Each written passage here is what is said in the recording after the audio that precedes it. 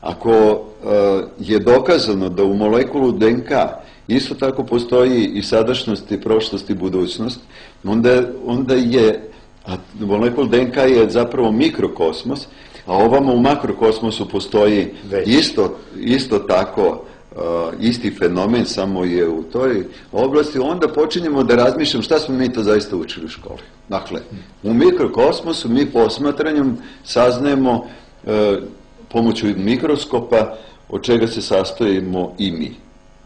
I ono što je najsitnije posmatramo mikroskopom. Što je jači mikroskop, toliko više saznajemo.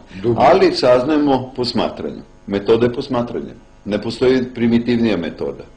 U makrokosmosu, što je veći teleskop, ovamo mikroskop, ovamo teleskop. Da, opet skop, da, skop. opet. Znači opet posmatranje Vidim. i mi kosmos posmatramo na osnovu sprave koje se tako zove i čak šaljamo platforme, satelite, ima sad recimo jedan satelit koji je lansiran koji bi trebalo da, da pregleda nekih uh, uh, milion zvezda pa onda da saznamo Pa da nešto više. nešto da iščepa dobije neke da. informacije o tome Podatak kako izgleda, pa da li ima, da li ima uh, života na uh, drugim uh, zvezdanim sistemima, odnosno drugim suncima i, i njihovoj okolini.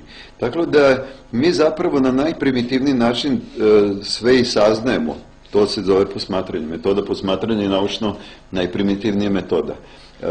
A šta, šta smo uspeli do sada? Da saznamo koliko se zna naučno 5% mikrokosmosa i negde oko 5% makrokosmosa. A zaključujemo, dakle, na osnovu čet- 95% one praznine. Zaključujemo na osnovu neznanja. Mi jako malo znamo.